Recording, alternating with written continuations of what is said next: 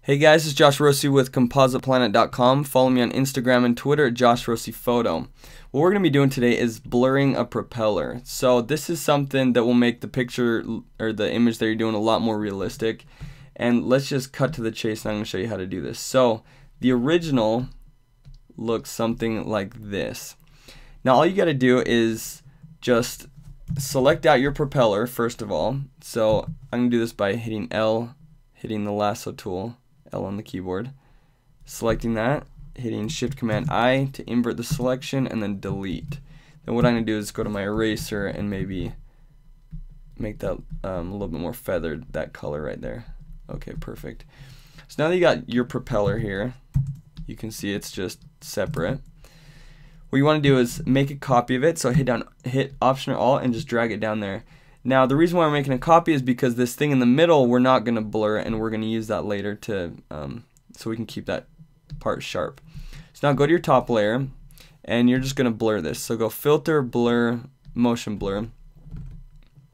And you want to blur this at about 108 pixels for this specific image and what I'm doing is turning this to a negative 15 angle just like that. I don't want it really straight because the blur looks maybe a little bit weird, but that's fine. Just gonna do a little angle right there. Okay, so then you hit OK. Then what you want to do is turn down the opacity a little bit, maybe around 50%, 40%. So now we have a pro another problem where we don't have any blur coming off this way, which doesn't make sense. So what we need to do is create blur by um, doing a simple trick. Just create a blank layer. I'm just to call it blur all you're going to do on this layer is go to your brush and paint at 100% opacity with black. All you want to do is just paint one right there and one right there to simulate the propellers.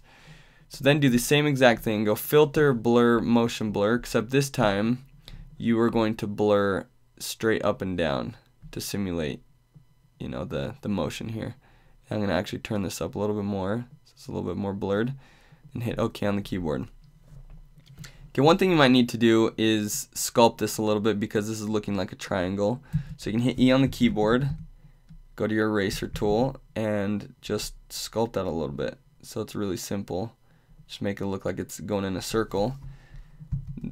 And then you can hit um, V on the keyboard, which is your cursor, and just sort of bring this, play around with it. You know, you can make it a little bit bigger, and then you want to turn the opacity down as well on that. So you can see the effect that that does. It just adds a tiny, tiny blur, but it makes everything look a lot more realistic. Okay, so same thing on this other side. What you're going to do is hit down Option or Alt and just drag what you've already done.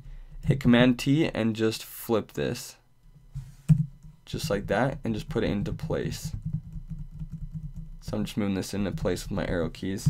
So this looks sort of like a blurry mess right now. We're going to fix that. That is why we created this layer down here, which is going to be the middle part. So what we want to do is drag this to the top.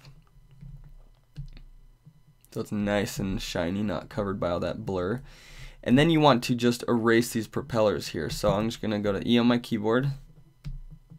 And you can just erase right here. I'm just erasing at around 50% opacity.